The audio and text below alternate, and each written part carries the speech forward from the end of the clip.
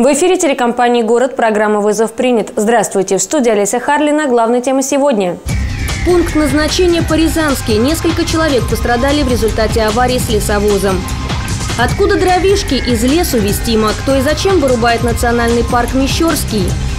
Где он, город погибших журналистов? И сколько стоит правда, написанная кровью? Смотрите в рубрике «Дело номер». Пункт назначения по-рязански. Буквально так назвали многие серьезные происшествия на 48-м километре автодороги Рязань-Клепики. На оперативной съемке мало что видно, кроме кучи бревен, рассыпанных по проезжей части. Нетрудно представить эмоции водителей, на которых посыпался неуправляемый смертельный груз. У КАМАЗа отцепился прицеп. В результате аварии пострадали три автомобиля – ВАЗ-2110, Volkswagen и Audi. Водитель «десятки» погиб на месте, его пассажирка и мужчина, находившийся за рулем Volkswagen, госпитализированы. Подозрительный дом и люди с подозрительным поведением. Так часто начинаются жалобы внимательных рязанцев, которые помогают сотрудникам наркополиции вычислять и ловить преступников. На днях был задержан слишком встревоженный 21-летний молодой человек. Его задержали на выходе из дома. И выяснилось, что переживал он не случайно. При личном досмотре полицейские обнаружили пакет с растительной массой, а дома еще один самодельный контейнер с веществом, похожим на наркотическое. Экспертиза установила, что это дизайнерские наркотики наркотики и марихуаны. Национальный парк Мещерский чуть не стал заметно реже. В МВД по Клепиковскому району поступило сообщение о незаконной вырубке деревьев. Тысячи туристов знают, где находятся туристические маршруты по тропе Паустовского, Озерная кругосветка или эколого-познавательная тропа «Окно на природу». Все эти названия неразрывно связаны с Национальным государственным природным парком Мещерский. Местный житель решил еще раз окинуть взглядом знакомые просторы, чтобы на новогодних каникулах привезти сюда внучат. Но вместо ожидаемой тишины услышал пилы. Я подошел к забору, лежу хруст такой, уже падают деревья. Вот. Ну, рабочих тут немного было, человек, наверное, 4-5. Техник я не видал у них.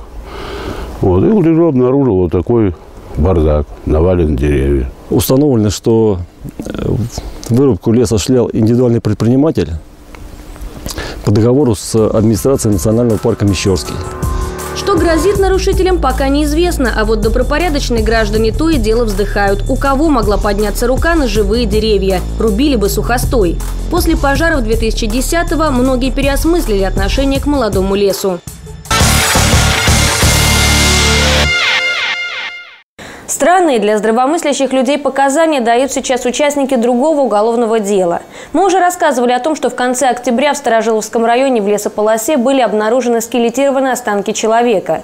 Эксперты установили, мужчину несколько раз ударили по голове тяжелым предметом, затем вывезли подальше от населенного пункта и сожгли.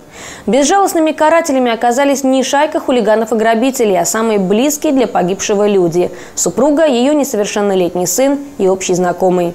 28 октября было возбуждено уголовное дело по факту убийства. Вот, создана следственно-оперативная группа. Благодаря слаженной работе, грамотно спланированным следственным оперативным мероприятиям, в кратчайшие сроки э, удалось э, раскрыть данное преступление, установить личность погибшего и лиц, причастных к его убийству. Всем троим грозят серьезные уголовные сроки. Понимает ли эта женщина, подбившая своего собственного сына на жестокое убийство? Кажется, ей самой тюрьма милее развода. Деньги в семью он не приносил, воспитанием детей он не занимался. Э, с, с ней постоянно конфликтовал. На вопрос, почему не выгнали, она ничего пояснить не смогла. То есть, э, как бы, и было высказано предложение о том, что от него надо избавиться. Подобные проблемы бытового характера испытывают миллионы российских семей. Часто они выбирают самый кардинальный способ от них избавиться. Поверьте, откровенная глупость обрекать себя на двойное наказание и потратить вторую часть и без того безрадостной жизни, разглядывая небо в клеточку.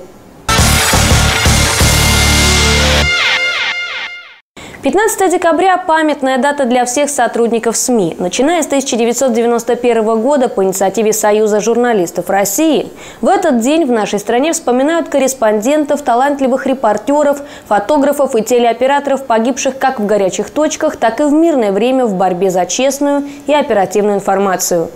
Мы решили вспомнить истории наших тольяттинских коллег, чьи убийства до сих пор не раскрыты.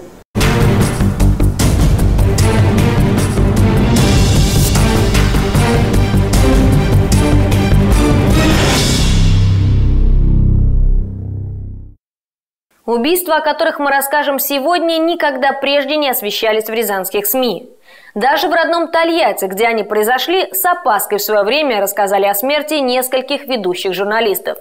За исключением, пожалуй, одной газеты – «Тольяттинское обозрение». Хочу подчеркнуть, все преступления остались нераскрытыми по сей день. О том, сколько стоит журналистская правда и кому она нужна, смотрите прямо сейчас. В 90-х говорить вслух о подвигах местного криминалитета в городе не решался почти никто. Закон о свободе слова и цензуре для местных СМИ с успехом заменили автоматы Калашникова и заточки. В октябре 95-го был убит Андрей Уланов, главный редактор газеты «Тольятти сегодня». При том, что издание никогда не занималось журналистскими расследованиями и после инцидента перешло в руки городской администрации. То же случилось с газетой «Все обо всем». И вдруг появляется новое печатное издание. Причем с такими дерзкими статьями, что его буквально в захлеб читают и горожане, и бандиты. Пожалуй, я не знаю ни одной газеты в России, которая пользовалась такой популярностью. Можно сказать, все газеты, даже которые там о чем-то пишут, там желтый, все это отдыхает. Небольшую тонюсенькую газету «Тольяттинское обозрение» в начале 96 -го года начали выпускать буквально три человека на свои собственные деньги. Уже через неделю коллектив редакции увеличился до 12 журналистов, которые позволяли себе в красках описывать бандитские стрелки, не опасаясь при этом называть имена и клички местной братвы неожиданно для всех выходит вот эта газета, которая впервые рассказала то, о чем, э, наверное, боялись говорить все другие журналисты. О том, что АвтоВАЗ курируется бандитами, о том, что э, вот эта группировка мощная практически э, покорила АвтоВАЗ, что тысячи машин уходят э, на лжефирмы к бандитам и просто пропадают. Главным редактором издания был Валерий Иванов. Человек, у которого полоса газеты равняла всех без исключения. Своими журналистскими репортажами он наживал врагов с фантастической скоростью. Впрочем, братве, как говорят, многие статьи Иванова даже нравились, ведь он писал правду.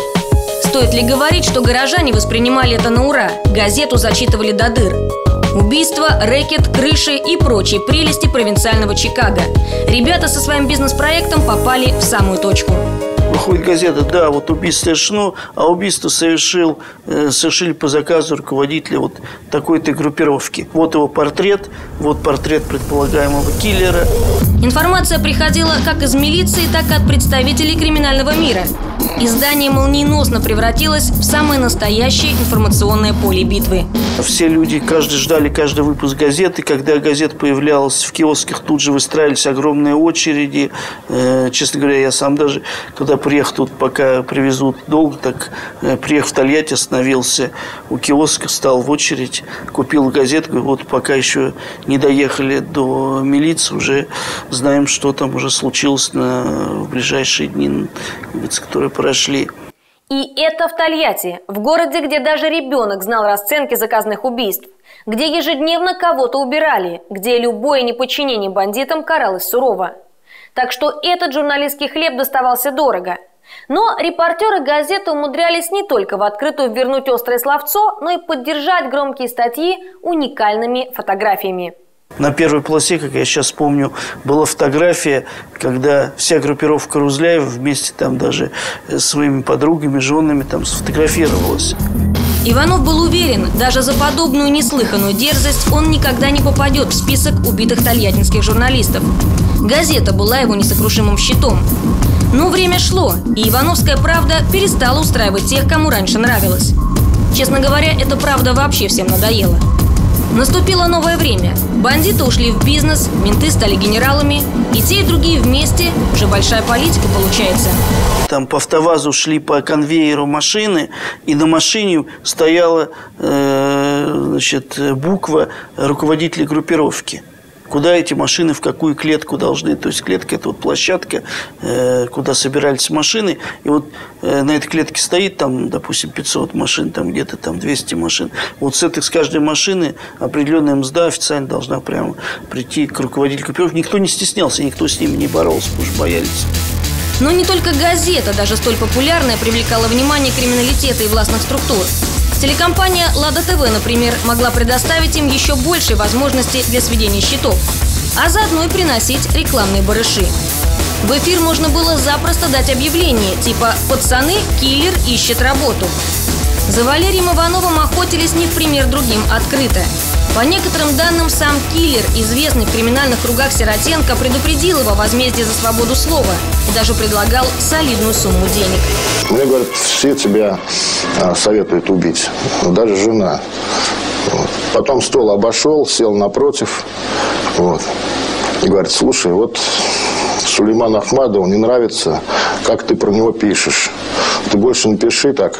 И под столом просунул большой пакет с деньгами. Валера говорит, ты что, говорит, убери, я, говорит, деньги не возьму. Вот. Ну, сирота якобы ему сказал, что, значит, лавы не берешь. Вот. Валера говорит, нет, не беру. Ну, говорит, тогда считай, что заказан. Сегодня бывший следователь по особо важным делам Дмитрий Плоткин вспоминает, что за всю свою многолетнюю карьеру он ни разу больше не встречал таких журналистов, охотников за правдой. Именно правда и обезоружила самых отъявленных бандюганов и ту верхушку власти, которая им способствовала. Случай беспрецедентный, когда журналисты сделали то, что должны были делать э, власти, государственные органы. Они действительно стали расставлять э, все по местам. Вот это черное, а вот это белое. Валерия Иванова убили 29 апреля 2002 года, прямо возле подъезда. СМИ написали, что от пережитого потрясения его десятилетняя дочь в один миг стала седой. На посту главного редактора газеты «Тольяттинское обозрение» его сменил друг и коллега Алексей Сидоров. Говорят, что бомба в одну воронку дважды не падает, но это не о Тольятти. Алексея Сидорова убили через год. Ему нанесли 11 ножевых ранений. В то время он готовил к выпуску большую разоблачающую статью, задевавшую интересы многих весьма известных людей, и лично занимался расследованием убийства друга. Но ни кипы бумаг, ни дискет при погибшем так и не нашли. Наличие улик и доказательств в Тольятти всегда носило избирательный характер – а после громких заявлений московского руководства местная прокуратура и вовсе перестала давать какие-либо комментарии по делам погибших журналистов. Был случай, когда редактор газеты Валерий Иванов и его зам Алексей Сидоров пригласили рязанских следователей на необычное мероприятие. На огромной площадке собрался чуть ли не весь город. Цель была одна – не дать забыть тех людей, которые заслужили, а не купили уважение. Мероприятие называлось «Золотое сердце». Эм, и вот я, как сейчас помню, Валерий Иванов вышел и э, сказал, вы знаете, говорит, мы впервые решили провести вот такую акцию. Мы знаем, что э, конечно, есть и коррупция, есть все в органах, э, в правоохранительных, но есть люди, которые э, работают, э, как говорится, не за страх, за совесть, и мы считаем, что их работа символическая должна оплачиваться даже не деньгами, а чистым золотом. В Тольятти давно все переплелось. Журналистские разоблачения и политика, шантаж и взятки, криминальные авторитеты и депутаты – История этого города написана на старом Баныкинском кладбище. Оно уравняло всех – тех, кто стрелял, и тех, кто о них писал. Недаром Тольятти получила второе имя – город погибших журналистов. Если вы стали участником или свидетелем преступления и вам тоже есть о чем рассказать, звоните в нашу редакцию по телефонам 720020 и 720021. Удачи на ближайшие 7 дней и до новой встречи в эфире.